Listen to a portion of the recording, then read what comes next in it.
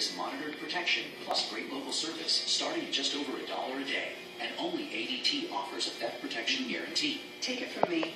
The time to think about a security system isn't after something bad happens. It's before.